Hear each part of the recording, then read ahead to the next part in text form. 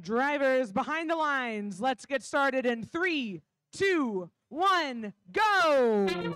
Autonomous mode, robots are moving. Red shoots up high. Blue with a really high shot that bounces out. Some scoring by Red in that upper hub. That's about it. Some traversing robots. Red has a really nice advantage to start this match. 292 has been screaming up through the ranks in this event.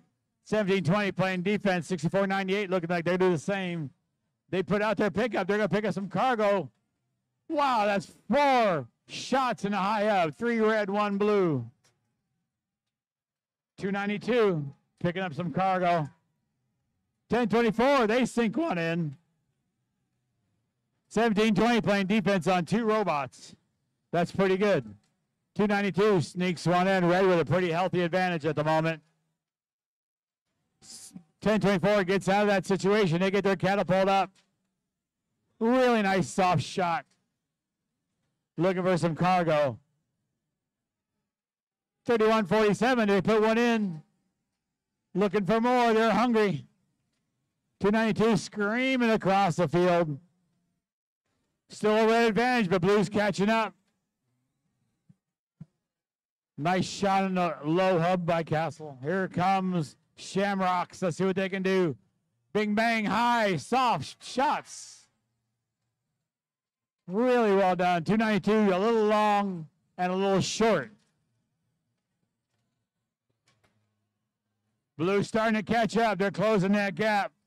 Shamrock Botics have lost the bumper. They'll be disabled. You have to have bumpers. 1024 makes one, miss one.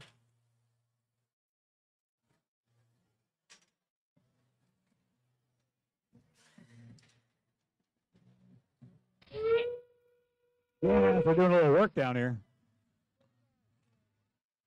Red, a little bit of a lead. 292 going for their traverse. 3147 coming in. Get that bonus. Here comes 1024 with a fun hang. I love the way they hang. 3147 trying to get up. Get that bonus. I think their chain broke. They're not going any higher than that. There are the PhyXTGears. 1024 make it up to the high bar.